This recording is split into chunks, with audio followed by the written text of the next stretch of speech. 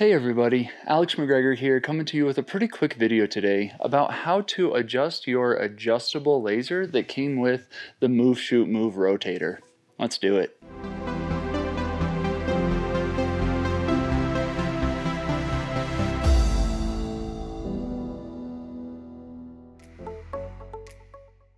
So if you are new to Move Shoot Move and you want some more basic instruction on how to use and set up the rotator, you can click on this video right here. But if you're already set to go on how the rotator works, now we can talk about how to get the most precision out of your adjustable laser. When I first got my Move Shoot Move rotator, it came with this laser over in my right hand, which works pretty well. It was able to get me lined up to Polaris and I could get a good long exposure with my 50 millimeter lens but it wasn't quite good enough for me to use a longer lens or to get like a two or three minute exposure with that 50 millimeter. So I got the polar scope and that was working really well, but it's not always convenient to align with a polar scope. It can be fairly frustrating sometimes. The laser is really what drew me to Move Shoot Move because it is so fast, so convenient, and so simple to align to Polaris. And you don't have to like bend down and look through that polar scope. This really is an amazing innovation for star trackers. But unfortunately, with this older laser, depending on how they would come out of the factory, they wouldn't be sending a perfectly straight beam out into the night sky. So you might line up the laser with Polaris, but the rotator itself could be a little bit crooked. So you couldn't get the perfectly long exposures by using this older version of the laser. So thankfully, Move Shoot Move came out with this little laser, and if you can see in there, it has these little slots that can be used to adjust the alignment of the laser and make it perfectly straight, and therefore your rotator is also perfectly lined up with Polaris. So I'm going to show you guys how to adjust this laser and test that it is properly aligned. And that way you can use it with confidence and know you're getting the best possible results out of the investment you made into your Move Shoot Move rotator.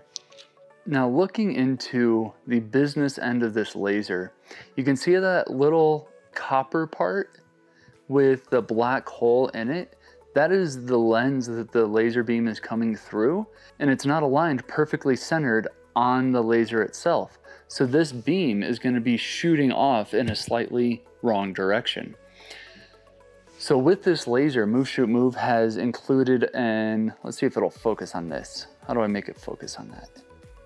An Allen key or a hex key. And this Allen key can be used to adjust an X and a Y axis on the laser to make sure that your laser is centered.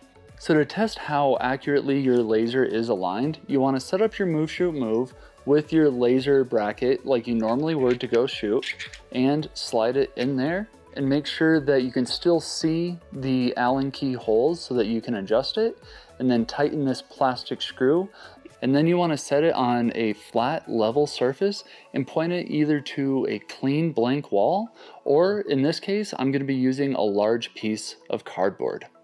Now while testing the laser, you want to loosen the screw just enough so that the laser can spin freely in the bracket in a full 360 degrees. Now I've got my cardboard set up and my laser is mounted in the rotator and pointing at it. As you can see, while I'm rotating it in a circle, it's definitely not straight.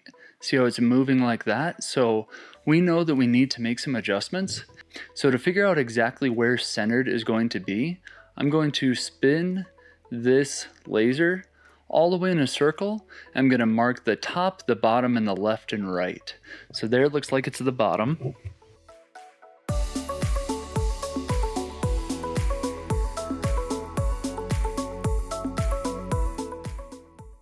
It is important to make sure that you don't move the laser or the tracker while you're doing this other than just spinning it in that circle. So now we can see how far off the laser is so we can find the exact center of that circle by using a tape measure, mark it out, and then make our adjustments.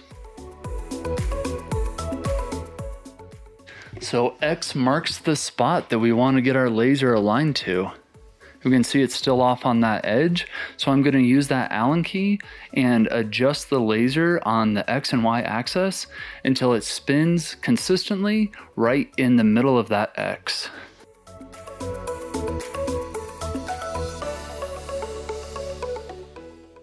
After some trial and error, I'm moving it all around in a circle and you can see it's staying really, really close to that center mark. So I'm gonna spend a couple more minutes and really dial this in to get it perfect.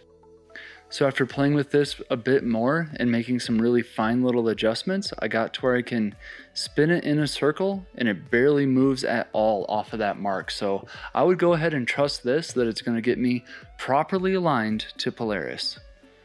So tonight I'm going to take out a longer lens and really put this to the test. This is the 40 to 150 Pro from Olympus cameras. I'm going to put it on the OMD EM1 Mark III and see if we can get some deep space shots with this little tiny rotator and a laser.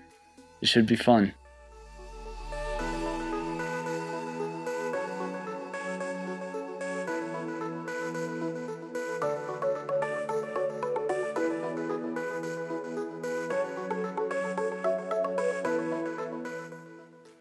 The laser works. Before we get into looking at the pictures, I do have to do a little bit of business. Beg you for that thumbs up. Maybe share this video. If this is your first time watching, you could subscribe. I will be coming out with a lot more. And please leave your comments or any questions. And I know this might be annoying to ask of you, but if you are watching this video from Facebook, First of all, thank you, obviously, and thank you for all the awesome feedback you've been giving me on Facebook. But can I ask you a big favor to leave your comments here on YouTube? It helps me out with the algorithm, helps my channel get seen by more people, and puts a big smile on my face. So if you want to put a big smile on my face, please leave your comments here on YouTube. Okay, I'm sorry I had to do that. Let's get into these pictures. So I definitely pushed this little tracker further than it's meant to go last night. It's intended to be used at 100 millimeter full frame equivalent, and I was using this 40 to 150 2.8 lens from Olympus. So Olympus is a micro four third sensor, so you double the focal length, so it's a 300 millimeter full frame equivalent. I just wanted to really push this thing and see what it could do. So let's check out how well it did just aligning with the laser after I made those adjustments. I pointed my camera due south because if you're in the northern hemisphere, that part of the sky is essentially moving the fastest, you could say. It's the hardest to track accurately, and I wanted to see what this thing could do. So I found this star, which on my star findering app is, is that one. do you know how to pronounce it?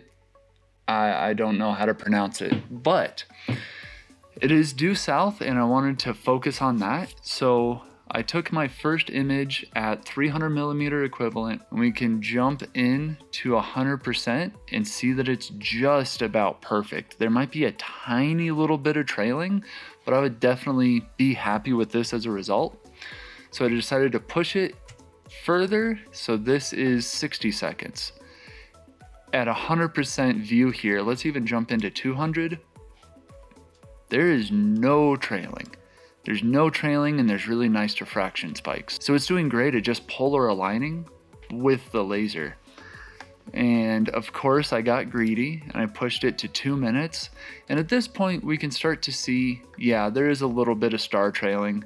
I went ahead and took a couple of shots to make sure. And there definitely is some noticeable star trails at two minutes, but again, this tracker is on a lens that's three times longer than what it was designed to handle.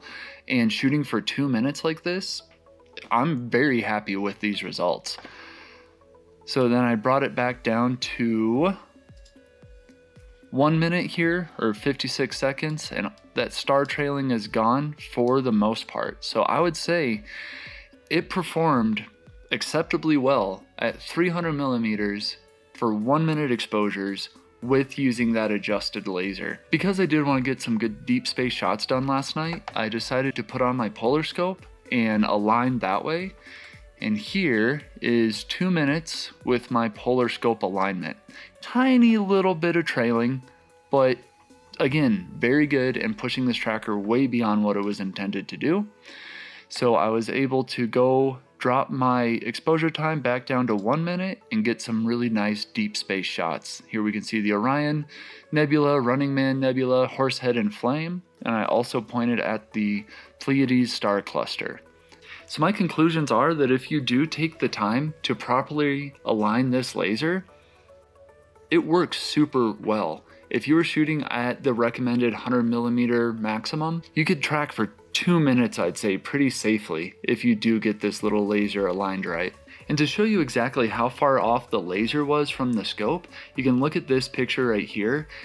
When I aligned with the laser and then made my adjustments with the scope, that little green dot is pretty close to where the laser ended up aligning. So it was a little bit off, but we're getting pretty finicky here. And if you were just going out with a 24 or a 50 millimeter lens in this properly aligned laser, you should have no problem exposing for a good long time. So this is a wonderful little innovation by Move Shoot Move. I had my doubts about how accurate it would be, but as you can see, I was tracking at 300 millimeters for a solid minute with just a laser. If you do want to get the most accuracy out of your tracker, I recommend picking up the Polar Scope. It does a great job of aligning the move shoot move. As you can see, I was doing two minutes at 300 millimeters pointed directly south and that is fantastic performance. So, and if you are interested in getting some one-on-one help, either setting up your tracker or getting the most performance out of your lens and camera, processing your images, organizing them, down below I do have links to a one-on-one Zoom class that I'm running right now, and there's also some discount codes. So if you can't afford the full $250 price, please feel free sign up with whatever discount code you would like to use. And i just love talking about stars as you guys know by this point. So thank you so much for watching. Again my name's alex mcgregor. When the stars are out i'll see you there